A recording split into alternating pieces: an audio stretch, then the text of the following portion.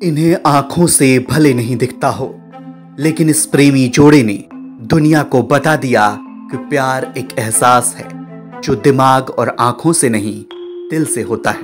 कहते हैं अगर प्यार होता है तो ज़िंदगी गुलजार कर देती है। बिहार के सौरभजीत और महाराष्ट्र की करिश्मा दोनों देख नहीं सकते, लेकिन सच्चा प्यार क्या होता है, ये दुनिया को ज़रूर बता रहे हैं। इस प्रेमी जोड़े से खास बातचीत की हमारे संवाददाता अनिकेत कुमार ने। साठ के दशक में एक फ़िल्म आई थी जिसका नाम था दोस्ती, और उस फ़िल्म के अंदर एक गाना था जिस गाने की लाइन थी कि कोई जब राह न पाए, मेरे संग आए, पग पग दीप जलाए, मेरी दोस्ती, मेरा प्यार। इस गाने की लाइन से मिलती जुलती कहानी जो है, वो बिहार के सौरभजीत की और महाराष्ट्र के करिश्मा की है। इन दोनों की कहानी कुछ इस तरह है कि बिहार के सौरभजीत जो है वो मुंबई जाते हैं, एक फैक्ट्री में काम करते हैं और उसी फैक्ट्री में मुंबई की ही करिश्मा से इनको मोहब्बत हो जाती है। लेकिन इस कहानी में एक रोचक ट्विस्ट ये है कि ये दोनों जो है, वो अपने आँखों से देख नहीं पाते हैं। बावजूद इन दोनों को एक दूसरे से बेइंतहा मोहब्बत हो जाती है। दोनों एक दूसरे का, को प्यार का इजहार करते हैं, दोनों को एक दूसरे जो हैं, वो पसंद भी आते हैं। लेकिन करिश्मा के माँ बाप जो हैं, वो इन दोनों की शादी करने से कतराते हैं क्योंकि सौरभजीत जो है, वो बिहारी होते हैं। वो कहते हैं कि आखिर एक बिहारी से अपनी बेटी की शादी कैसे करेंगे? हालाँकि प्रेम प्रेम होता है, प्रेम के आगे परिवार को झुकना पड़ता है। इन दोनों की जो मोहब्बत है, वो मुकम्मल हुई और दोनों ने शादी किया और अब पटना में ये दोनों जो है, अपना दिन जो है, वो गुजारते हैं। अब ऐसे में इन दोनों की प्रेम कहानी को हम थोड़ा और भी डिटेल में जानेंगे। आखिर कैसे इनको मोहब्बत हुआ और उस दौरान क्या क्या हुआ वो पूरी बातें जो है वो हम इनसे जानेंगे क्योंकि वैलेंटाइंस वीक चल रहा है और ऐसे में प्रेम कहानी जो है वो ज़रूरी है दिखाना और ऐसे में सौरभजीत और करिश्मा की प्रेम कहानी जो है वो बिहार तक पर हम आपको दिखा रहे हैं। सौरभ जी सबसे पहले तो आपका स्वागत है। थैंक यू वैलेंटाइंस वीक चल रहा है और आप दोनों की जो प्रेम कहानी है वो जरा हमें बताइए कि आप मुंबई कब गए और इनसे कब मुलाकात हुई और कैसे इनसे मोहब्बत हुई? आ, मैं 2009 में मैं मुंबई गया और एक रिहेबिलिटेशन कोर्स करने के लिए गया था, जिसमें मतलब बहुत सारे ट्रेनिंग दी जा रही थी मेरे मुझे, जैसे अगरबत्ती बनाना कैंडल बनाना चॉकलेट मेकिंग बहुत सारा ऐसा ट्रेनिंग दिया जा रहा था। तो उस ट्रेनिंग की दौरान भी हमारी मिसेज करिश्मा जी का बैच आई थी बट इतफाक देखिए कि हम लोग फेस टू फेस हुए, मगर एक दूसरे से कोई बात विचार नहीं हुई। जब 2010 में हमारा दूसरा बैच गया, मैं डिप्लोमा करने गया फिजियोथेरेपी का तो उस टाइम भी इनका बैच आया एमएससीआईटी कोर्स करने के लिए। तो उस दौरान हमारी मतलब एक ही कंपाउंड में हॉस्टल था दोनों का, और एक ही कंपाउंड में दोनों का क्लास था। तो मतलब उसी दौरान रोज़ एक ही साथ आना जाना भी होती थी। वहाँ पे खाली टाइम में हम दोनों एक साथ बैठना उठना भी तो मतलब बात विचार बढ़ी, फिर मतलब दोस्ती हुई, फिर ये अफेयर में बदल गई। तो मुझे कहीं ना कहीं उसमें ऐसा मतलब अभी मुझे लगता है कि 2009 में गया और उस टाइम भी इनकी बैच आई और 2010 में भी गया तो भी इनकी बैच आई। तो मुझे कहीं ना कहीं लगता है कि एक दूसरे को भगवान मिलाने की ही कोशिश कर रहे थे क्योंकि अगर ऐसा नहीं होता तो बार बार जब भी मैं ये जा रही थी तो मैं क्यों जा रहा था? अगर मैं जा रहा था तो ये क्यों आ रही थी? तो कहीं ना कहीं हम दोनों की जो जोड़ी है कहीं ना ये गॉड गिफ्टेड है। आपको ये कब लगा कि आपको इनसे प्यार हो गया है या इनको आपसे प्यार हो गया? जब आ, हम ट्रेनिंग के दौरान मतलब लंच टाइम में हम लोग खाते पीते थे एक ही साथ तो मतलब इनकी आदत थी कि मतलब वो कुछ कुछ खाना नहीं खाते थे तो मुझे इनकी काफ़ी मतलब वो लगता था कि अरे यार वो लड़की नहीं खाती ये चीज़, उसके लिए दूसरा चीज़ आना चाहिए। तो मैं कितनी बार मतलब इनडायरेक्टली मैं बोला लोगों से कि यार इस, इनके लिए कुछ ला दो बाहर से, कुछ मंगा के दे देते थे।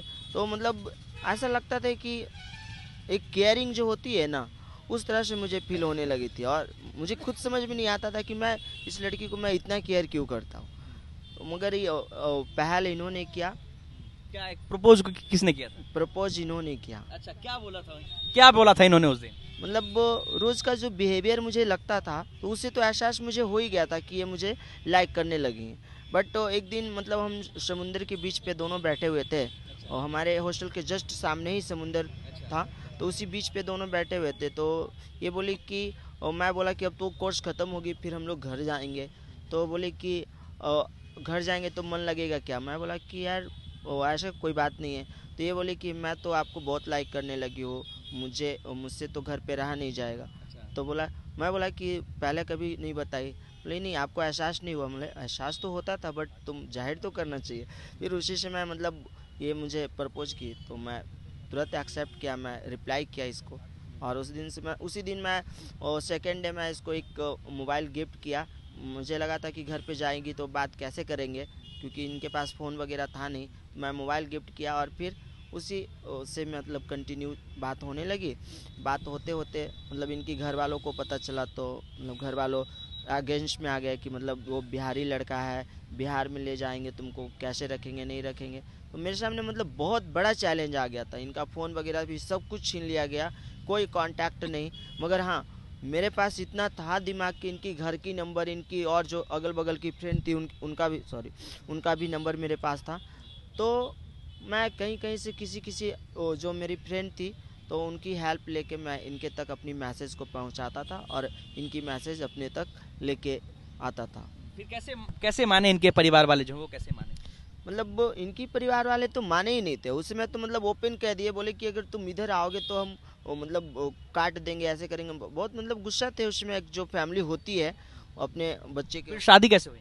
तो मैं उनको ओपन चैलेंज किया कि आप दस दिन के अंदर अंदर मैं उनको लेके आऊँगा। आपको जहाँ भी छुपाना है आप छुपा सकते हो। एकदम फिल्मी अंदाज में आपने पूरा चैलेंज हाँ ये चीज़ मतलब ये रियल है। आप मतलब अभी तो इनकी मदर है नहीं नहीं तो उनसे भी आप ये पूछ सकते थे। मतलब ओपन चैलेंज मैं कर दिया।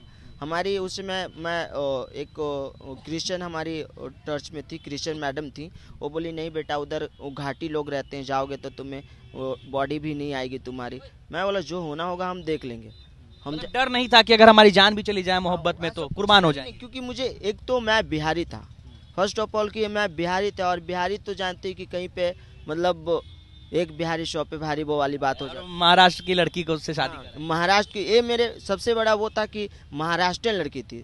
तो मैं मुझे ऐसा लग, उसी से मैं एहसास हो गया था कि नहीं अगर मैं अपनी लाइफ में अगर किसी को एंट्री दिया हूँ अगर दोस्ती किया हूँ अफेयर तक हो गई तो मैं बीबी भी इसे बनाऊँगा। तो मेरे सामने ओपन चैलेंज आ गया। तो मैं इनकी मदद मैं दस दिन को इनको बताया कि दस दिन के अंदर अंदर मैं किसी भी हालत में लेके आऊँगा।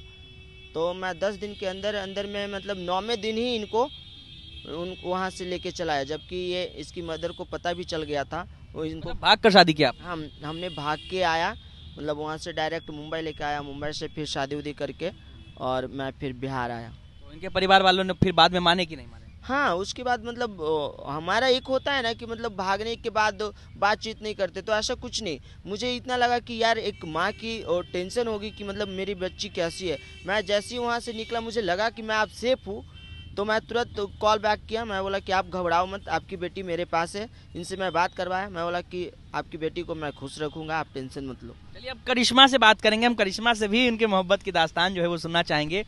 करिश्मा आपके पति ने तो सारी चीज़ें जो है वो सुना दी है। आपको कब लगा जो अब आपने इनको प्रपोज किया? आपको कब लगा कि आपको इनसे प्यार हो गया है? मुझे तो लगा था इसका कि, कि साथ में क्लास करने के लिए जाना आना खाना सब कुछ साथ ही में होता था बैठना उठना घूमने के लिए जाना तो उस समय हमको लगा था। कैसे इनको प्रपोज किया आपने? क्या बोले थे? बताइए फिर से। एक बार फिर से अभी प्रपोज कीजिए इनको सामने में। बोलिए। आई लव यू बोले थे। एक बार फिर से और इनको बोलिए फिर से। आई लव यू जान I love you too you फिर से बताइए एक बार। आई लव यू जान I love you too you देखिए करिश्मा जो है कैसे इनको प्रपोज कर रही हैं। तो मतलब कितना मुश्किल था आपके लिए आपके परिवार वाले जो है वो आपके खिलाफ थे लेकिन फिर भी आपने सौरभजीत से जो है वो शादी की। जी। कितना मुश्किल था वो वक्त? मुश्किल तो था बहुत मम्मी हमको बहुत डांटती थी मोबाइल वगैरह छीन ली थी। मारपीट करती थी फिर भी किसी न किसी तरह हम अपना दोस्त के फ़ोन से बात वगैरह करती थी। इन्होंने लास्ट कॉल किया था हमको बोले कि नहीं तुम नहीं आओगी तो हम फिर कभी कॉल भी नहीं करेंगे नहीं आएँगे तुम्हारे साथ नहीं शादी करेंगे। तो उसी समय हम निकल गए थे घर से। अच्छा, तो देखिए करिश्मा ने भी अपनी जो बात है वो सुनाई है सौरभजीत को।